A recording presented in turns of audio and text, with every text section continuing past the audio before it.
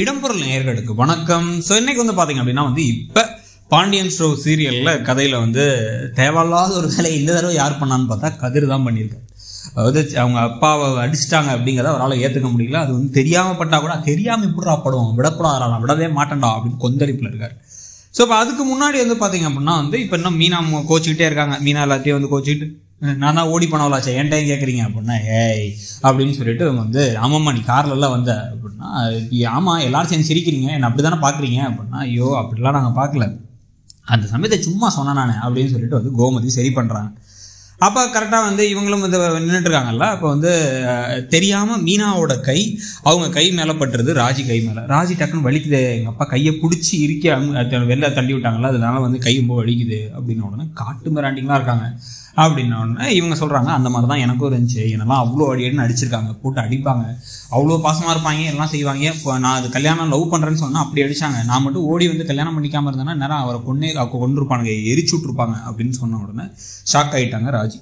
அந்த வீட்டில் இருக்க வரைக்கும் இங்கே இவங்க எல்லாத்தையும் நான் உங்கள் எல்லாத்தையும் வில்லன் வில்லி மாதிரி பார்ப்பேன் இந்த வீட்டை. இங்கே வந்தப்பறம் தான் தெரியுது உண்மையெல்லாம் அப்படின்னு அவங்க சொல்கிறாங்க சொல்லிட்டு இருக்கும்போது கண் கலங்கிடுறாங்க கோமதி. இப்படி பண்ணுறானுங்களே இவனுங்க. கொஞ்சம் கூட பாசம் இல்லாமல் இவ்வளோ மோசமாக இருக்காங்களே அப்படின்னு சொல்லிட்டு இருக்கும் போது இவங்க ரெண்டு பேரும் சேர்ந்து உங்க கண்ணு அழகா இருக்கே பாரு ஸ்கின்னெல்லாம் இவ்வளோ எவ்வளோ சாஃப்டா இருக்கு அப்படின்னு சொல்லிட்டு பேசிக்கி அவங்கள சரி பண்ண அரக்கு தான் யூஸ் பண்ணுவேன் நான் சோப்பு யூஸ் பண்ணுறதில்ல உங்களுக்கும் தரேன் அப்படின்னு வந்து கொஞ்சம் கொஞ்சமாக சரியாயிடுறாங்க. ரொம்ப நல்லவங்களாம் நியாயத்துக்கு இருக்காங்க. இது நடுவில் சரவணன் என்ன பண்ணுறாரு அப்படின்னா வந்து அவருடைய காதல் மனைவி தங்கமயிலுக்கு அது வருங்கால மனைவிக்கு கால் பண்ணி அவங்கள்ட்ட வந்து பேசிகிட்டு இருக்காரு. இன்னும் அவங்க ஃபோட்டோ ஜூம் பண்ணி ஜூம் பண்ணி பார்த்துக்கிட்டு உட்காந்துருக்காரு இதில் வேற வந்து இவங்க எல்லாரும் பக்கத்தில் இருக்கவங்கலாம் வந்து வேலை இருக்குது எந்த வேலை இருக்குது அந்த வேலை இருக்குன்னு சொன்னால் வேலையை கூட மறந்துடுறாரு. அந்த அளவுக்கு காதல் மயக்கத்தில் இருக்காரு. ஸோ அவங்கள்ட்ட பேச ஆரம்பிச்சதுக்கு அப்புறமா அவங்க ரெண்டு பேரும் நல்லா இருக்கியா? சாப்பிட்டியா? அப்படின்னு எல்லாத்தையும் பேசிட்டு நான் இங்கே தான் வேலை பார்க்குறேன். இந்த இடத்துல தான் என் ஆஃபீஸ் இருக்குன்னு சொல்லி சொன்ன உடனே நான் அங்கே தான் என் ஃப்ரெண்டு வீடு இருக்குது நான் கூட என் ஃப்ரெண்டை பார்க்க வருவேன். அப்படின்னு அவங்க சொல்கிறாங்க உடனே வருவீங்களா? அவங்க ஒரு விஷயம் யோசிச்சு அவருக்கு புரிஞ்சிருச்சு. நம்ம மீட் பண்ணலாமா? அப்படின்னு கேட்குறாரு சரின்ட்டாங்க அவங்க. இதை வந்து அவங்க அம்மா கிட்ட சொல்ல பாக்கியம் உடனே என்ன பண்ணுறாங்க சந்தோஷப்பட்டு உடனே கொழுக்கட்டையெல்லாம் செஞ்சு கொடுத்து மாப்பிள்ளை கொடுத்துரு அப்படிங்கிறாங்க.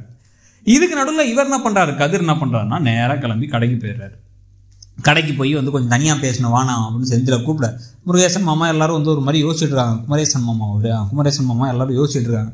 யோசிச்சுட்டு இருக்கும்போதே வெளில வந்துட்டு இவர் வந்து என்ன நடந்துச்சு அப்படிங்கிறத சொல்லி அப்பாவை அடிச்சிட்டான் அவன் சும்மா விடக்கூடாது அவன் அப்படின்னா அண்ணன் கல்யாணம் முடிஞ்சப்போ யாராவது பார்த்துக்கலாம்டா அப்படின்னா அண்ணனுக்கு தானே கல்யாணம் நம்ம சும்மா தானே இருக்கோம். நம்ம ரெண்டு பேர் செஞ்சு செய்ய வேண்டிய வேலையை செஞ்சுருவோம்.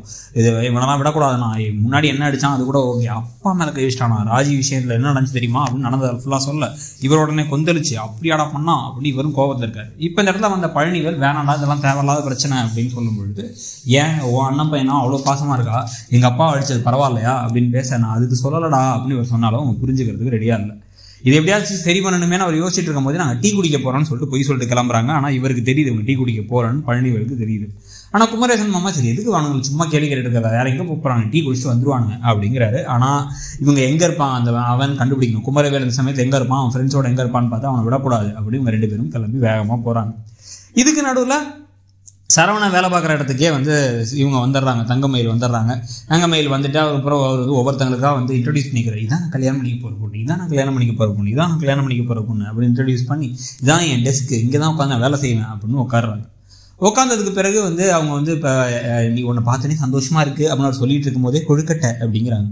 என்னை பார்த்தா கொழுக்கட்டைங்கிற கொழுக்கட்டை மாதிரியான இருக்கே அப்படின்னா ஐயோ இல்லை அம்மாவுக்கு செஞ்சு கொடுத்த கொழுக்கட்டை அப்படின்னு உடனே அதை சாப்பிட்டு நீ பேசுகிறத கேட்டுகிட்டே இருக்கலாம் போல இருக்கு ரொம்ப நல்லா இருக்குது அப்படின்னு சிரிச்சுக்கிட்டே ரெண்டு பேரும் கொழுக்கட்டை நீயும் எடுத்துக்கோ அப்படின்னு ஒரே சர்டிகுலர் ரெண்டு பேரும் ஒரே சமயத்தை கையை விட அப்புறம் கடைசி கொழுக்கட்டை இவர் அவங்களுக்கு வந்து விட்டு கொடுக்க அப்படியே ரெண்டு பேரும் கண்ணும் கண்ணும் பார்த்துக்கன்னு காதலில் இருக்காங்க. இன்னும் நாளைக்கே பிடிச்சி இவரை போய் ஜெயிலில் போட போகிறாங்க ஸோ இன்னைக்கு எபிசோட் எப்படி போச்சுன்னு நினைக்கிறீங்கிறத சொல்லுங்க. தேங்க்யூ இடம்பொருள் நேர்களுக்கு வணக்கம். ஸோ இன்னைக்கு வந்து பார்த்தீங்க அப்படின்னா வந்து இப்போ பாண்டியன் ஸ்டோவ் சீரியலில் கதையில் வந்து தேவையில்லாத ஒரு வேலை இந்த தடவை யார் பண்ணா